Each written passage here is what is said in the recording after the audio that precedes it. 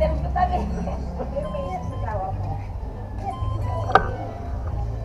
Pag walang magsucho, bakit pinaghirapan din naman namin yan? Kung naman din kami naghirap, wala din isip, di ba?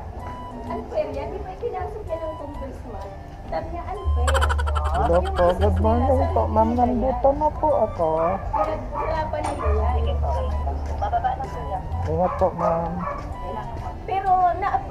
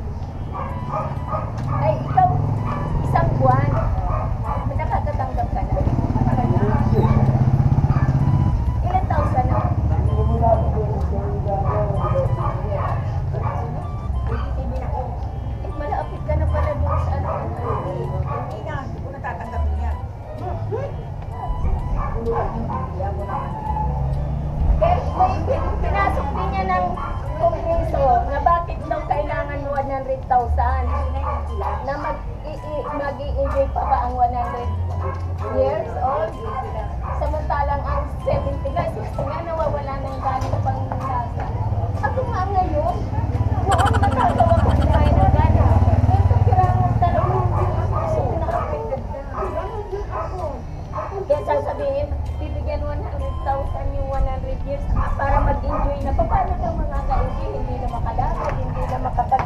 Kasa bakit hindi ibaba sa sa 80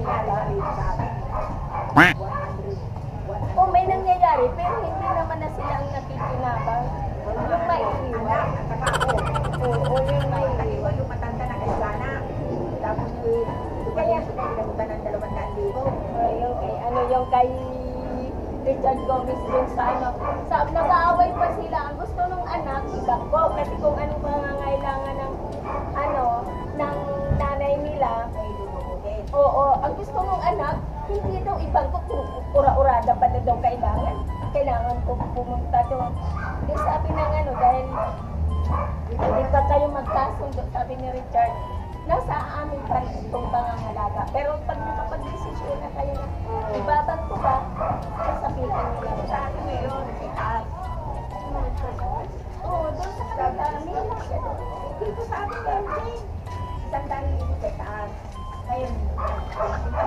Di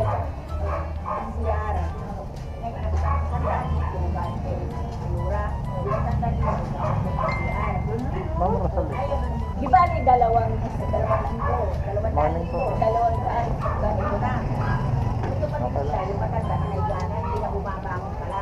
Saka hindi na nakakapagsalita yun. Ang pinaliguan na yan. Na ano nga ako dyan, no? Nakancelan ako. Kinancel.